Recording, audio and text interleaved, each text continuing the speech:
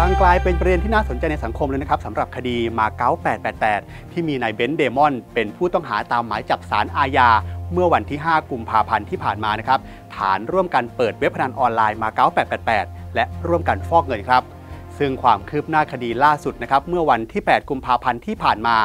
ทางด้านร้อยตำรวจเอก คุณากร ขจรบุญยะถาวร หรือว่าผู้กองไบรท์น้องนุชคนสุดท้องแห่งบ้านสี่บอนะครับ ก็ได้ทำการยื่นใบลาออก จากตำแหน่งรองสารวัตรฝ่ายตรวจคนเข้าเมืองขาออกสำนักงานตรวจคนเข้าเมืองเป็นที่เรียบร้อยแล้วนะครับพร้อมกับให้การกับพนักงานสอบสวนนะครับว่าไม่มีส่วนเกี่ยวข้อง และก็ไม่มีส่วนรู้เห็นว่าพี่ชายนั้นเปิดเว็บพนันออนไลน์มาเก๊า888 ครับ ในขณะที่พลตำรวจตรีออมสินตรารุ่งเรืองนะครับรองผู้บัญชาการตำรวจสืบสวนสอบสวนอาชญากรรมทางเทคโนโลยี ก็ได้เปิดเผยว่าทางผู้กองไบรท์นะครับได้ให้การในฐานะพยาน และก็ให้การที่เป็นประโยชน์ต่อรูปคดีครับ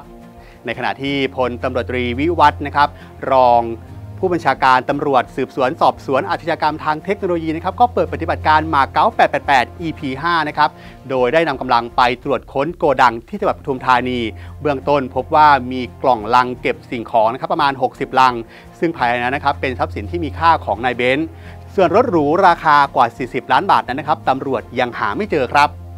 ด้านพลตำรวจเอกดำรงศักดิ์กิติประพัฒน์นะครับพบตรก็ได้สั่งการให้เจ้าหน้าที่นั้น ปฏิบัติงานด้วยความเที่ยงตรงนะครับ แล้วก็หากสืบสาวไปถึงใครก็ต้องดำเนินคดีให้ถึงที่สุดครับ ก็ได้รับความรายงานความคืบหน้า แล้วก็ได้สั่งการไปแล้วว่าให้ขยายผลอย่างต่อเนื่องนะครับ ใครถึงใครก็ต้องว่าไปตามนั้นนะครับ ไม่มีการช่วยเหลือซึ่งกันและกันนะครับโดยเฉพาะขยายผลถึงใครนะครับ โดยเฉพาะนายตำรวจใช่ครับ มีรถลัมโบกินี่มีคอนโด ถ้าถึงก็ต้องดำเนินการดำเนินคดีแน่นอนนะคตรัรบงตรงนี้เรามีการกำชับเรื่องเส้นเงินไหมท่าน ทุกอย่างนับทุกมิติอยู่แล้วนะครับ การดำเนินการเรื่องเรื่องพนันก็ต้องดูเส้นเงินอยู่แล้วนะครับ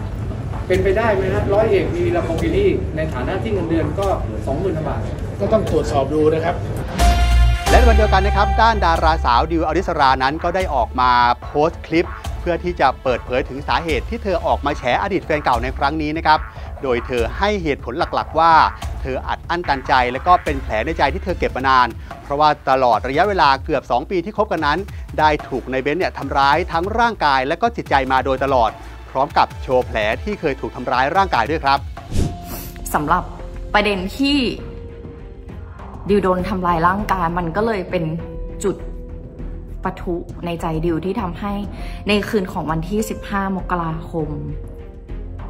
มันเป็นสิ่งที่ทำให้ดิวออกมาพูด เกี่ยวกับความรู้สึกความเจ็บปวด อะไรใด ๆ แต่ดิวถ่ายทอดไปในแบบนั้น อันนี้คือลูกที่เคยโดนทำร้ายมาก่อน